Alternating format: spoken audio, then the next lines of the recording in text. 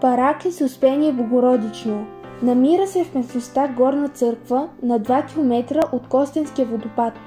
При направените археологически проучвания на хълма Горна черква на запад от селото са намерени останки от стара крепост и са разкрити очертания на ранно християнска базилика, датирана от 5-6 век.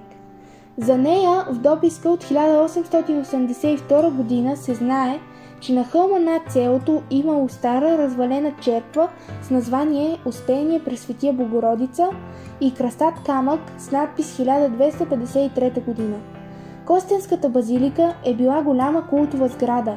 По своя общ план тя се причислявала към така наречения латински тип, характерен за Юнистияновата епоха. Предполага се, че тази базилика е била главен храм на Костенечката епископия, просъществувала до 1666 година, след което територията, която обхващала, влезнала в границите на Самоковска епархия. Около базиликата е имало солидна стена кале. Крепостта е била много дълга. Източната и южната и страна имали формата на кръг, а стените от към западната и северната страна били разположени на успоредни линии. Именно това кале спряло настъплението на османците в района. През 1372 г. многобройна османска армия, начало с Гази Баладан, обсажда крепостта на Горна черква. Защитата била ръководена от деспота на Кластенец, войводата Каролго Янул, известен още и като Янкул Черни.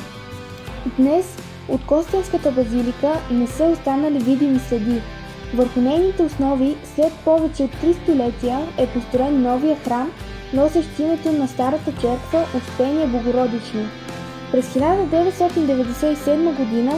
храмът е тържествено открит и преосветен от негово святейшество Максим, митрополит Софийски и патриарх български.